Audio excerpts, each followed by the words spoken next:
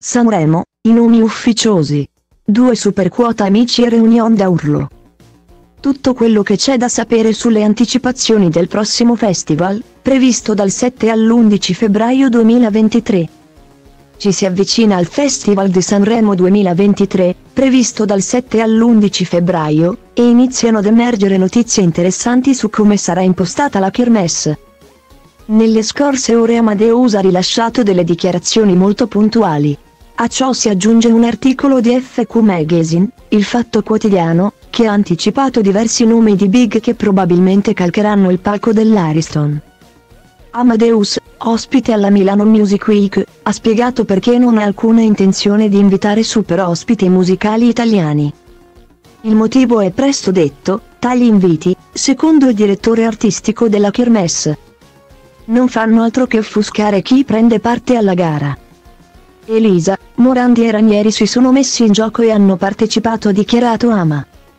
Credo che questo sia il futuro del festival col ritorno dei big. Quando annuncerò la lista dei cantanti dirò, loro sono i miei super ospiti. Quando arrivai al festival mi ritrovai con 50 super ospiti e 10 cantanti in gara. Ho eliminato la parola super ospite, trovo ingiusto verso l'artista che viene a presentare la sua musica in un clima di grande festa. Una scelta ragionata e convincente, che non fa una grinza. Restano invece aperte le porte per le star internazionali. Tutto fatto invece per il co-conduttore e la presenza di Chiara Ferragni. Come svelato mesi fa ufficialmente. Al fianco di Amadeus ci sarà Gianni Morandi. Grande attesa anche per la presenza della moglie di Fedez. Che sarà in scena la prima e l'ultima serata. Nelle scorse ore Amadeus ha invitato ad appuntarsi sul calendario la data X del 4 dicembre, quel giorno. Nel corso del TG1 delle 13.30, diramerà la lista ufficiale dei big in gara Sanremo 2023. FQ Magazine ha provato a giocare di anticipo.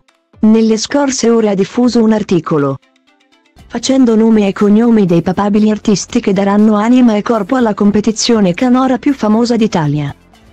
Due sono i nomi buon fatti trapelare dal fatto quotidiano, Marco Mengoni e Giorgia. Due artisti di peso, due super big. La cantante, che manca da Sanremo da ben 22 anni, all'epoca si esibì sulle note di sole e di azzurro, pare che sia stata protagonista di una serrata trattativa e opera di convincimento della casa discografica Sony. Altro artista il cui ritorno lascerebbe a bocca aperta è Gino Paoli. FQ Magazine nel suo Totonomi, ha inserito anche lui. Quindi ecco Tananai, Nada, Luigi Strangis, ha vinto Amici lo scorso anno.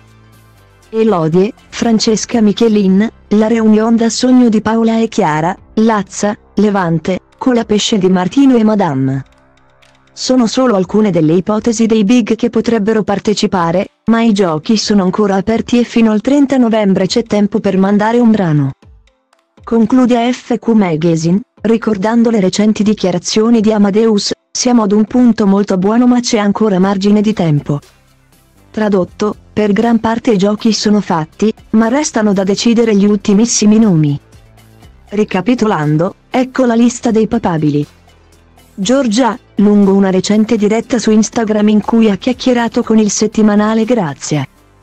Circa la sua presenza a Sanremo 2023 Ettari risposto. Sanremo? Me lo chiedono in tanti, se andassi non potrei dirlo. Posso dire che sono molto rosingata per queste richieste. Questo Sanremo è diventato una macchina meravigliosa e fatta bene, troviamo tanta musica anche la più diversa. Non lo so. Certo, poi devo dire che emotivamente non ce la farei. Ero giovane quando l'ho fatto. Ho vinto i tre premi, primo, secondo e terzo posto, come Nilla Pizzi. Dichiarazioni molto curiose. Negli anni passati, ad una simile domanda, la risposta sarebbe stata un non ci sarò.